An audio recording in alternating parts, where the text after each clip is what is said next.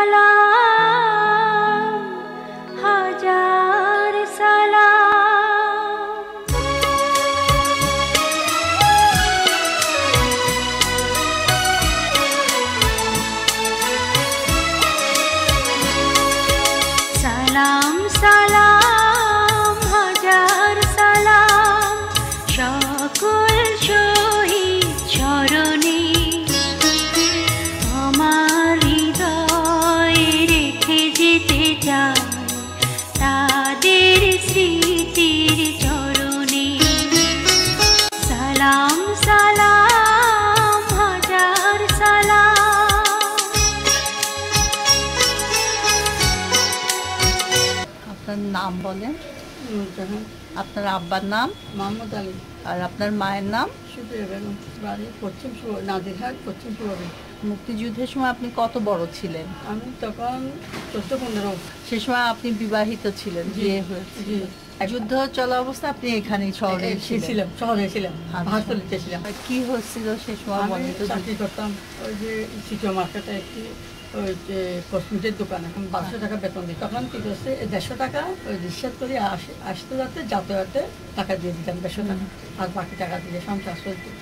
তখন ছেলেমেলে হয় না একটাও হয় না তারপরে ওই আমি একদিন ওই ওখানে কারফিউ দিছি। তখন রিক্সা চলতেছে না। আমাকে তাড়াতাড়ি ছুটি দিয়ে দিছি কারফিউ দিয়ে ছটার থেকে ছটা কারফিউ। তা আমি সকাল আটটা থেকে গেলে রাত আটটায় আসতাম। এখন আমাকে ছটায় ছুটি দিয়ে দিছি। কারণ আমি হাঁটতে হাঁটতে আসতেছি। তখন দুইটা আর্মি এখান থেকে ওদিকে যাইতেছে। ওই চিটিও মার্কেট ওদিকে যাইতেছে। মানে হাজি ক্যাম্প থেকে। আমি হাজি ক্যাম্প থেকে এদিকে আইতেছি। তখন ওরা দেখে আমাকে এই লেখি এদার আই এদার আই আমি ওদেরকে দেখে ভয়ে মানে দৌড় দিছি। ওরা দৌড় দিয়া পিছনে দুজন ছিল। একজন আমাকে ধরে ফেলছে আমি দৌড় দিয়ে আপনি দৌড় পড়ে। গেছি। পড়ে যাওয়া তার মধ্যে আমি কেটে গেছি। তখন কেটে যাওয়ার পরে আমি আর উঠতে পারতেছি না। মানে আমার মাথা ঘুরেতেছে তখন টাইনা নিয়ে ওখানে একটা বসে পাশে ঘর ছিল ঘরের মধ্যে একটা খোলা ঘর ছিল। মানে এখানে কেউ লোক থাকে না। ক্যারাম বোর্ডের ঘর ছিল। ওখানে নিয়ে আমাকে অত্যাচার করছে তখন ওরা চলে গেছে করে এক বুড়ো মহিলা এসে আমাকে বলতে বেঁচে দিয়ে রক্ত পড়তেছে। ওরা মনে করছে যে অন্য দেখেছে কেটে গেছে। তারা কতগুলো পাতা সাতা দিয়ে বাইন্দে বাইন্দে আমাকে ওদের ঘরে শুকিয়ে শুয়ে রাখছে পানি খাওয়াইছে। পানি খাওয়াইয়ে তারপরে সন্ধ্যের সময় বাসা কোথায়? তোমাদের? আমি বলছি ওই বিষয়ে আমাকে নিয়ে আমাদের বাসায় দিয়ে আসছে কিসের চিকিৎসা করছে? আপনার স্বামী কি করল? আপনি নির্যাতিত হওয়ার পর চলে গেছে চলে গেছে? আচ্ছা তারপর? স্বাধীন হওয়ার পরে হ্যাঁ। তার আম্মা আসছে আম্মা আসার পরে আবার আম্মা চাকরিতে জয়েন হয়েছি। জয়েনের পরে তারপরে আমার চাকরিটা তো চলে গেছে তখন। আমার চাকরি ছিল না।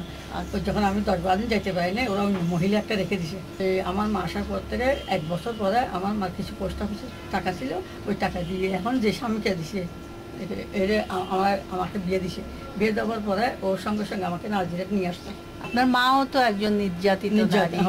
আপনার মা সেই সময় আপনার ভাইকে খুঁজতে খুঁজতে ইন্ডিয়ায় চলে গেছে হ্যাঁ ইন্ডিয়া থেকে ওই যে ইন্দিরা গান্ধী ছিল না? ইন্দিরা গান্ধী বলছো তোমাকে ঘর দেবো বাড়ি দেবো এখানে থেকে যাও। আমি থেকে যেতে পারব আমার বাচ্চা কাচ্চা সব রেখে আসছে আমার একটা ছেলে হারিয়ে গেছে আমি ছেলেকে খুঁজতে খুঁজতে এখানে ছেলেদের খুঁজতে গেছিল আর আপনাদের বোনদের একটা বোন ডাকছে ওর বাসায় রেখে গেছিল আমাদেরকে। এখন ওখানে আপনি কেমন আছেন? আপনার কয় ছেলে মেয়ে? আমার তিন ছেলে মেয়ে একটা এটা কাছে দিয়ে বিয়ে দিছি। হ্যাঁ। এটা পালছি যে আমি।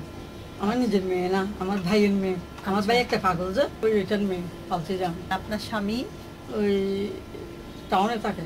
টাউনে থাকে। বিয়ে করছে তো ওখানে। আরও আপনাকে বিয়ে করার পর উনি আরও তিনটা বিয়ে বিয়ে করছে। আপনি খুব কষ্টে কষ্টে আছে আমি অনেক কষ্টে আছি। সহযোগিতা করলে আমি কোনো বাঁচতে পারি। আমার থেকে একটা জীবনটা ছেলে আছে।